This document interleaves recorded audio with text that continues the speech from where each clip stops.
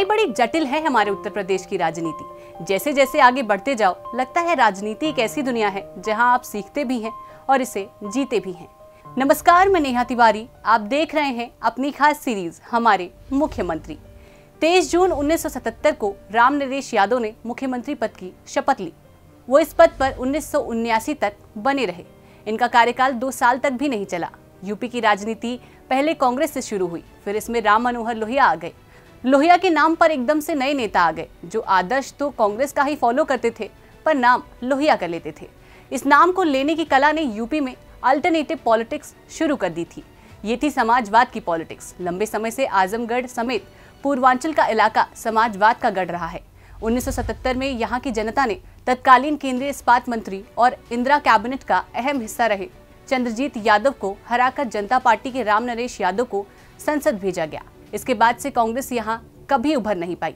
हालाँकि बाद में मुलायम समाजवादी पार्टी के हो गए और समाजवाद को यादव और मुस्लिमों के बीच बांट दिया गया। ये नई समाजवादी विचारधारा है। इसी आजमगढ़ के आंधीपुर गाँव में राम नरेश यादव का जन्म 1 जुलाई 1928 को हुआ था। लालन पालन आम ही था। राम नरेश ने कुछ बहुत तूफानी भी नहीं किया था। शांति प्रिय व्यक्ति थे। उस दौर के उग्र स्वतंत्रता सेनानियों में भी इनका नाम नहीं आता था। पढ़ाई लिखाई पूरी करके उन्नीस सौ तिरपन में आजमगढ़ में ही वकालत शुरू कर दी थी। इनके पिता गया प्रसाद महात्मा गांधी पंडित जवाहरलाल नेहरू और राम मनोहर लोहिया के अनुयायी थे तो राम नरेश का भी लगभग यही झुकाव रहा। उन्होंने वाराणसी हिंदू विश्वविद्यालय से बीए, एमए और एलएलबी की पढ़ाई की और यही छात्र संघ की राजनीति से भी जुड़े रहे। इसके बाद पट्टी के नरेंद्रपुर इंटर कॉलेज में लेक्चरार भी रहे। उन्नीस सौ तिरपन में उन्होंने आजमगढ़ में वकालत शुरू की।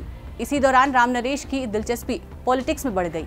उन्होंने समाजवादी विचारधारा के तहत जाति तोड़ो बराबरी के मौके, बढ़े नहर रेट किसानों की लगान माफ़ी, समाज शिक्षा, आमदनी और खर्च की सीमा बांधने, ज़मीन जोतने वालों को उनका अधिकार दिलाने, अंग्रेज़ी हटाओ आदि आंदोलनों को लेकर कई बार गिरफ्तारियाँ दी। इमरजेंसी के दौरान वह मीसा और डीआईआर के अधीन जून 1975 से फरवरी 1977 तक आजमगढ़ जेल और केंद्रीय जेल नैनी इलाहाबाद में बंद रहे। साल 1977 के चुनाव के बाद हुए उपचुनाव में राम नरेश जनता पार्टी के टिकट पर पहली बार निधौली कला से विधानसभा के सदस्य चुने गए। चौधरी चरण सिंह ने राम नरेश से प्रभावित होकर लगातार तीन बार से विधायक रहे मुलायम सिंह यादव को नजरअंदाज करके उन्नीस सौ सतहत्तर में राम नरेश यादव को संयुक्त उत्तर प्रदेश का मुख्यमंत्री बनाया। लेकिन उन्हें दो साल के भीतर अपनी कुर्सी छोड़नी पड़ी। चरण सिंह राम नरेश यादव को लंबी रेस का घोड़ा मानते थे, लेकिन यादव के इस्तीफे के बाद खाली पड़ी आजमगढ़ लोकसभा सीट पर उपचुनाव में मोहसिना किदवई ने जनता पार्टी के कैंडिडेट को बुरी तरह हराया। कांग्रेस की जीत ने जनता पार्टी में भूचाल ला दिया। इंदिरा की आंधी चिकमंगलूर से चल चुकी थी। जनता पार्टी ऐसे ही बदनाम हो रखी थी। इसके बाद अचानक लोगों को लगने लगा कि इंदिरा की आंधी जनता पार्टी को ले डूबेगी। आजमगढ़ उपचुनाव में मिली करारी हार के बाद राम नरेश को मुख्यमंत्री पद से इस्तीफा देना पड़ा, जिसके बाद जनता पार्टी ने डैमेज कंट्रोल करने के लिए बनारसी दास को उत्तर प्रदेश का मुख्यमंत्री बना दिया। राम नरेश ने जब मुख्यमंत्री पद से इस्तीफा दिया तो उसके बाद वो रिक्शे से अपने घर वापस आ गए। राम नरेश यादव की सरकार में ही मुलायम सिंह पहली बार राज्य मंत्री बने थे और पहली बार उनको नेताजी भी इसी वक्त कहा गया था। सरकार तो चली नहीं और मुलायम सिंह यादव राज नारायण का साथ छोड़कर चौधरी चरण सिंह के साथ चले गए थे। इसके बाद वे बनारसी दास के मंत्रिमंडल में उप मुख्यमंत्री रहे, लेकिन 17 फरवरी 1980 को उनकी ये कुर्सी भी चली गई। उन्नीस में वे चरण सिंह के लोकदल के प्रदेश अध्यक्ष बने। उन्नीस सौ पचासी में लोकदल से ही विधायक बनने पर उन्हें नेता विरोधी दल की भूमिका मिली। चरण सिंह के लिए अपना विश्वास खो चुके राम नरेश यादव धीरे धीरे राज नारायण के करीबी बन गए थे, जो खुद एक बागी थे। राजनीति में खासा मोड़ तब आया जब राम नरेश यादव, मुलायम सिंह यादव का मुकाबला करने के लिए चरण सिंह के बेटे अजीत सिंह की बनाई पार्टी में शामिल हो गए। और यही वक्त था जब वह कांग्रेस में शामिल होने के लिए प्रेरित हुए। उन्नीस सौ पचासी में फिरोजाबाद के विधानसभा क्षेत्र सिकोहाबाद का प्रतिनिधित्व किया। राम नरेश उन्नीस सौ अट्ठासी में राज्यसभा सदस्य बने और 12 अप्रैल उन्नीस सौ नवासी को पार्टी के महामंत्री बने और अन्य पदों से त्यागपत्र देकर तत्कालीन प्रधानमंत्री राजीव गांधी के नेतृत्व में कांग्रेस में आ गए। आयरनी ये है कि उन्होंने अपने राजनीतिक जीवन की शुरुआत कांग्रेस विरोधी गतिविधियों से की थी। वे इंदिरा गांधी के खिलाफ केस करके उनके चुनाव को अवैध साबित करने वाले राजनारायण के साथी थे। उनकी विचारधारा से प्रभावित होकर जनता पार्टी में शामिल हो गए थे। राम नरेश यादव इमरजेंसी से पहले लगभग 10 बार गिरफ़्तार हुए थे। इमरजेंसी के दौरान 19 महीने जेल में रहे। 1988 से उन्नीस सौ नवासी तक लोकदल से राज्यसभा में रहे।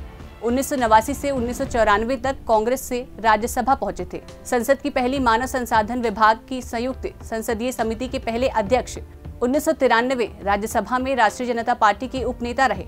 उन्नीस से 2007 तक वो आजमगढ़ के फूलपुर से विधायक रहे। 2009 के लोकसभा चुनाव में कांग्रेस ने राम नरेश यादव का सावधानी से इस्तेमाल किया। राम नरेश को कांग्रेस ने राज्यसभा में पहुँचा दिया और फिर उन्हें कांग्रेस कार्य समिति की सदस्यता भी मिल गई। पार्टी ने उनको यादवों के बीच कैंपेन करने की भी ज़िम्मेदारी दी थी। 2011 में जब कांग्रेस उत्तर प्रदेश विधानसभा चुनाव के लिए तैयारी कर रही थी तो उसी दौरान राम नरेश को मध्य प्रदेश का राज्यपाल बना दिया गया। राज्यपाल बनने के बाद राम नरेश के वो दिन आए जो उन्होंने कभी सोचा भी नहीं होगा। फरवरी का महीना हमेशा के लिए समस्या बनकर आया है। मुख्यमंत्री और उप मुख्यमंत्री का पद उनको फरवरी में ही छोड़ना पड़ा था और फरवरी 2016 में ही इनका नाम मध्य प्रदेश के व्यापम घोटाले में आया। वो घोटाला जिसमें 50 से ऊपर लोग मार दिए गए थे। राम नरेश का बेटा शैलेश यादव भी इस मामले में फंसा था। कांग्रेस इसके बाद इनसे इस्तीफा मांगने लगी, पर इन्होंने इस्तीफा नहीं दिया। जब इनका काफिला राजभवन से रवाना हो रहा था तब एनसीपी के नेता मनोज त्रिपाठी ने आत्मदाह कर लिया। हालाँकि पुलिस ने उन्हें बचा लिया। इससे पहले राज्यपाल के तौर पर 2013 में वो मध्य प्रदेश विधानसभा सत्र को खत्म करने के मसले पर सोनिया गांधी से मिलने गए थे। इस बात को लेकर बहुत विवाद हुआ था कि राज्यपाल एक पार्टी प्रेसिडेंट के पास क्यों जा रहा है। 22 नवंबर 2016 को राम नरेश यादव की मृत्यु हो गई। आज की हमारे इस वीडियो में बस इतना ही। पर आपको हमारी ये वीडियो कैसी लगी, हमें कॉमेंट बॉक्स में ज़रूर बताएँ। अगर आप हमारी ये वीडियो फेसबुक पर देख रहे हैं तो पेज को लाइक ज़रूर करें। अगर इंस्टाग्राम पर देख रहे हैं तो फॉलो करना बिल्कुल ना भूलें। अगर यूट्यूब पर देख रहे हैं तो सब्सक्राइब और शेयर ज़रूर करें। ऐसी तमाम जानकारी के लिए आप हमारी वेबसाइट www.batenyupi.com पर विज़िट कर सकते हैं।